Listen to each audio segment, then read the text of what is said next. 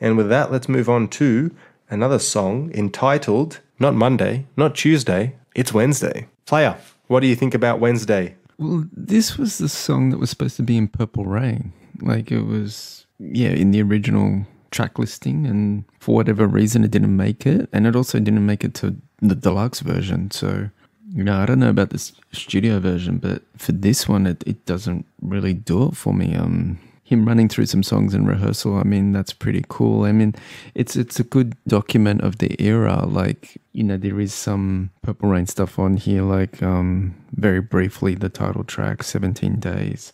This, uh, you know, part of his rehearsal is probably running through what what's upcoming, what he's working on, and and so from a historical standpoint, that's that's interesting. But the actual song itself, it doesn't really do anything for me, and I think I.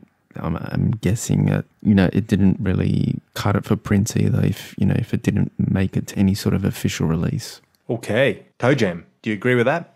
It's an interesting song. I think the melody itself has a lot of potential. And uh, I believe that in the Purple Rain movie, this was supposed to be Jill Jones's song. I'm not 100% sure on that, but that's my recollection. Yeah, I think that's right. So it's always had a bit of folklore behind this song in the Prince fan community who, who knew that fact. Oh, Wednesday was a song that was supposed to be on Purple Rain.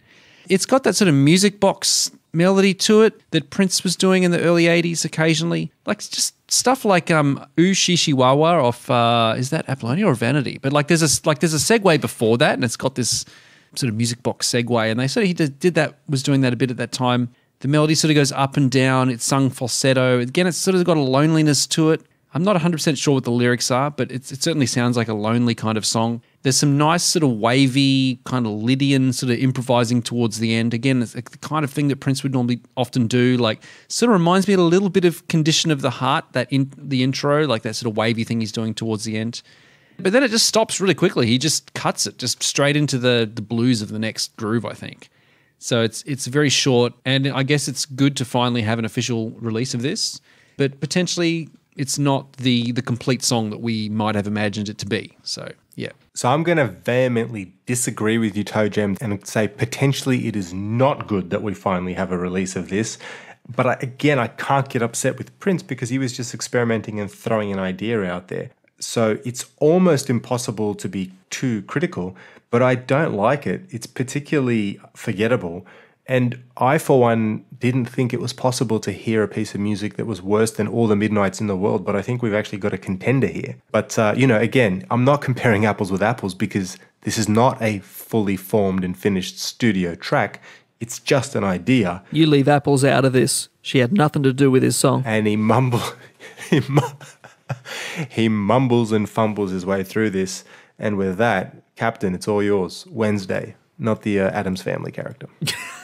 This is probably my third favorite track on this album. Oh my god. You got to be kidding. There's nothing there. It's better than the Purple Rain where there's nothing there. you really surprised the me. melody of this song I really like. There is a, the version with Jill Jones doing the vocals and that's a, you know, it is just piano and vocal, I think, but the piano is all properly done. This is sort of a bit of a fumble through it, but the song is still there, and I like the song. I like this rehearsal. He doesn't do all of the song, but it's um it's good. I like it. How can you not like this? Hmm. It's crazy. My jaw is dropped to the floor. I thought you were going to pan this and just move on to the next uh, part of the performance. But anyway, allegedly, this is one of your favorite songs. Third. There's never a dull day here on this show when we record. This that was ridiculous. There's the third best on the album. Okay.